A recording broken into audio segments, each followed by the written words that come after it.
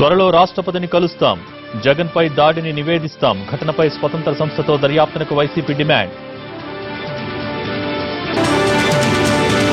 ఏపీలో మానవ హక్కులకు భంగం కలుగుతోంది. ఆపరేషన్ గరుడా స్క్రిప్ట్ చంద్రబాబుదే అన్న బీజేపీ.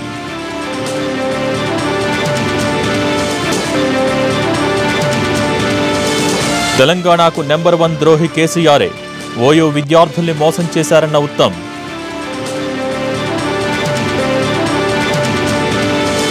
అభివృద్ధిపై విష ప్రచారాన్ని తిప్పికొట్టండి. తెలంగాణ వికాస సమితి సదస్సులో కేటీఆర్ పిలుపు. బీహార్లో జేడీఎస్ బీజేపీ మధ్య ఖరారైన పొత్తు.